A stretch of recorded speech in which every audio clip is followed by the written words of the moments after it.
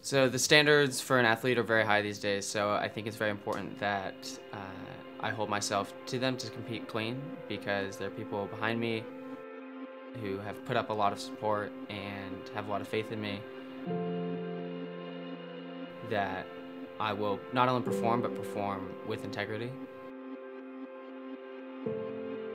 Uh, when I train and compete clean, I know that at the end of the day, I can be confident that the supplements and products that I use to help me get better are going to be clean. They're going to pass the test every single time, and that's one of the most important things for me.